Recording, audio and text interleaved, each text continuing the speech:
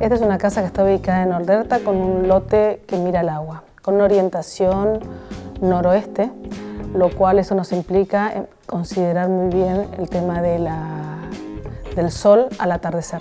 Para esta casa decidimos usar un tipo de cortinas que nos ayuden a la sustentabilidad y a ahorro energético que esto pueda tener.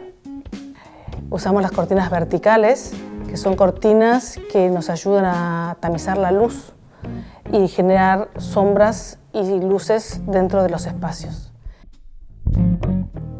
Por otro lado, tenemos una galería enorme que mira el espejo de agua. En ese caso, usamos unos toldos verticales, sunscreen, con grandes paños. Entonces, a la hora del atardecer, nos permite tamizar el sol. Estos toldos eh, que para mí son súper importantes, también tienen un valor estético porque también me suman a la estética de la casa.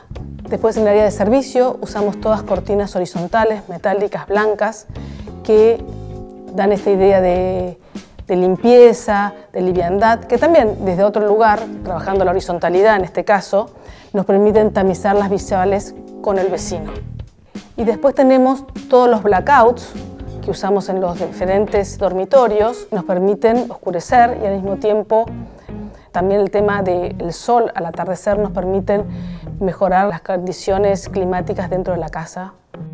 Creemos que todo esto suma al bienestar de, nuestra arquitectura.